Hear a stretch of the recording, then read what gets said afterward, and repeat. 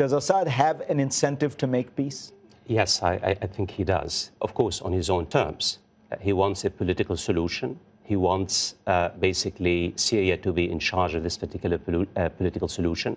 Uh, he wants the outside opposition to be marginalized.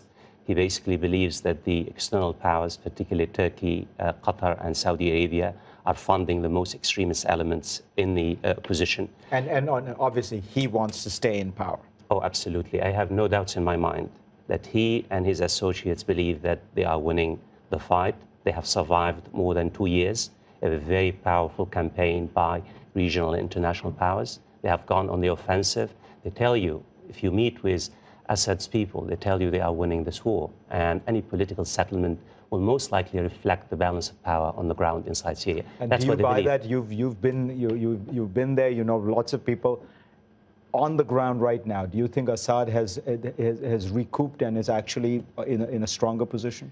Well, look, uh, Fareed, Assad is not winning. Uh, but the opposition also is not winning. Assad has survived two, some of the most two brutal years any particular dictator can face. His military machine remains intact. Uh, in fact, he has gone on the offensive. He has made some major gains on the ground. His allies, Hezbollah and Iran, are deeply committed to his survival. Iran and Hezbollah have made it very clear Assad is a red line. The Russians are deeply invested in Syria, and he has a social base of support.